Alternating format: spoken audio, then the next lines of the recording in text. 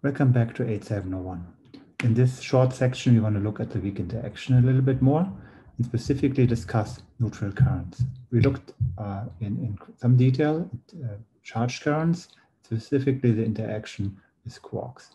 So here, we want to look at the Z boson specifically and the weak interaction via the neutral current.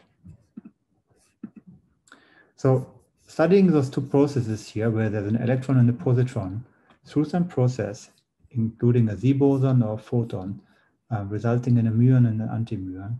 Those processes have been studied in great detail at SLAC and at CERN with the SLC and the Large Electron Positron Collider. So if we want to, you know, calculate the cross section and study the cross section of the center of mass energy, we see a number of interesting effects. At low energies and at very large energies, cross-section runs with 1 over the energy squared.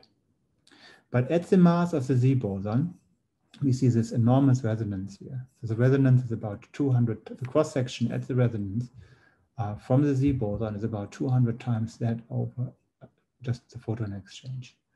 So this allows you to study the Z boson with great precision um, at those colliders. You have sizable cross-section when you are on electron-positron colliders.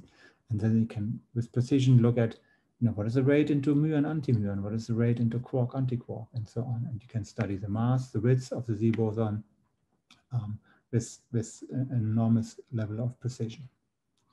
Again, so I will not go into too much detail here. Um, please have a look at chapter 9.6 in Griffiths, for example, but there's many other resources where you can learn about more about neutral currents. Neutral currents, electro, uh, weak neutral currents are specifically important in the study of neutrinos, as we have, uh, as we will discuss more in, in, in the lectures as well.